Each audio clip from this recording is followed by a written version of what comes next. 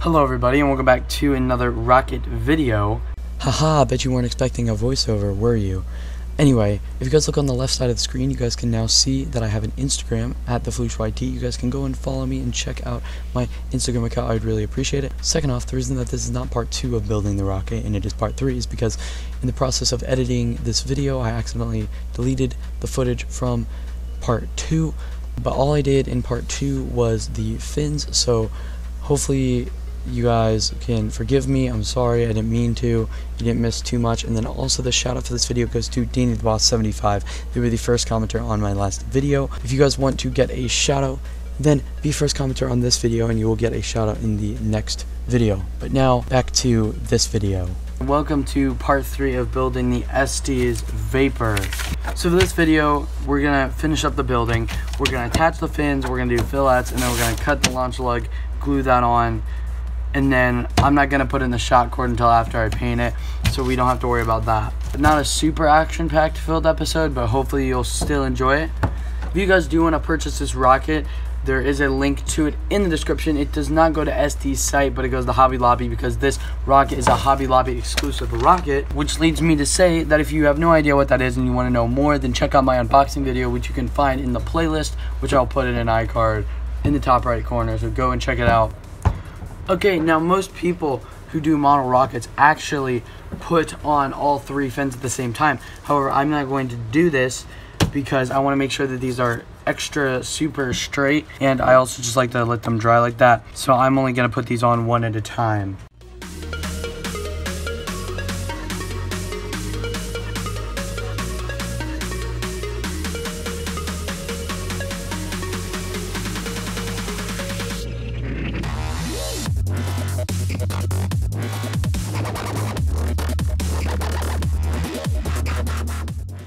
Fin's already done.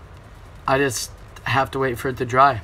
It's gonna be a lot of waiting because I will, I will have to wait for this one to dry before I can attach this one, and I have to wait for this one to dry before I can attach the last one, and then I have to do fillets. I have to do three sets.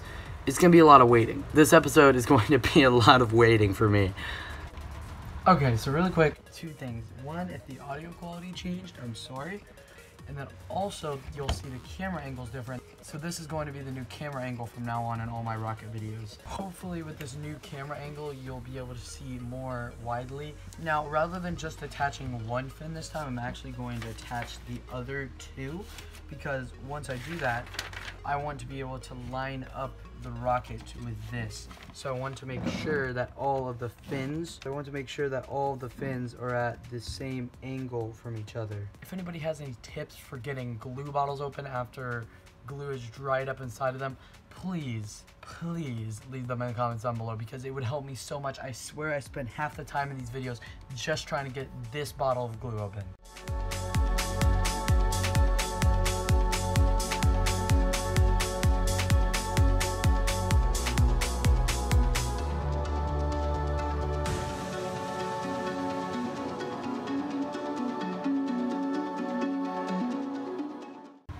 Okay, so I'm gonna let these fins dry and then I will come back and we're gonna tape off the sides of the tube so that when I do fillets, I don't get super, super big fillets. I can control the size of fillet that I get. That was a mistake on my last rocket is I had way too big of fillets and then when I tried to sand it, I tore up the tube and I still didn't even get the fillets down all the way. So we're gonna be taping it down to make sure that I don't get globs upon globs of glue on the fillets. I'm back.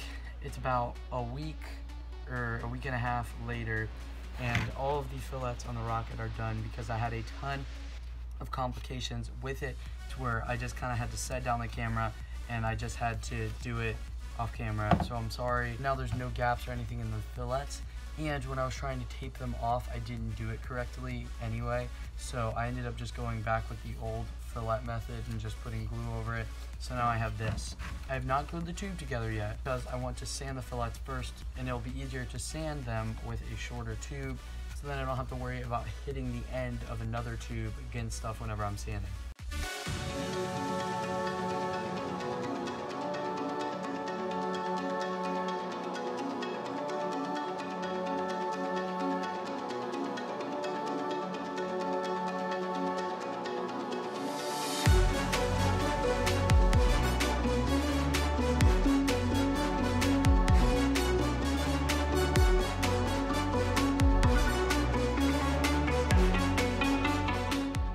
I've decided that before I glue the two tubes together that I'm going to put on the launch lugs on the bottom half first.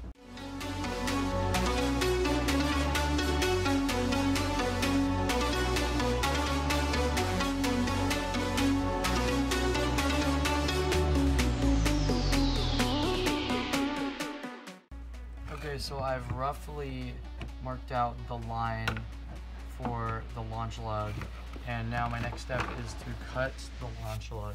Okay, I've got everything ready to cut the launch lug in half now.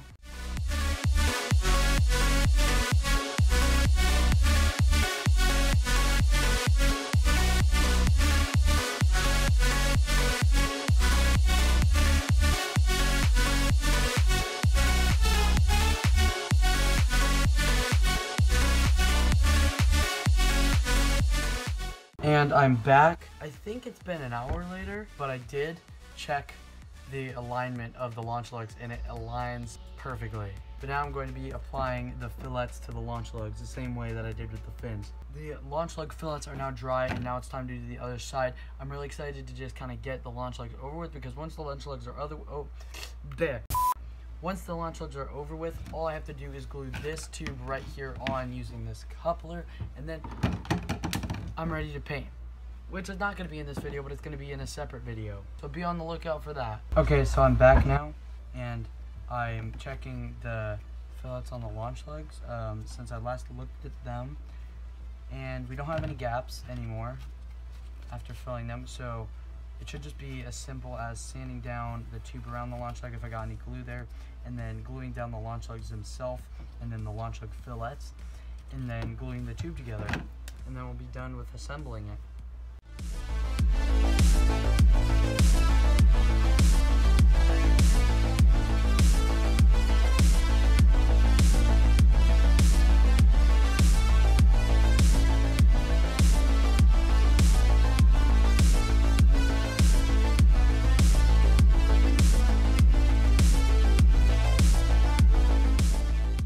This rocket is now too big to fit on frame. This is officially our biggest rocket that we have for now, at least until we build this bad boy. This is a mean machine. This is 79 inches. This is over six feet tall, this rocket. And I mean, on the picture they show you on the box, this thing is underestimated. I mean, like, look, holy cow. But anyway, guys, that is going to wrap up this video. Thank you guys so much for watching. As always, you guys are the best. Stay awesome, and I'll see you guys next time. And be on the lookout for the video when I paint this thing because you guys are not going to want to miss it. I'll talk to you later. Bye.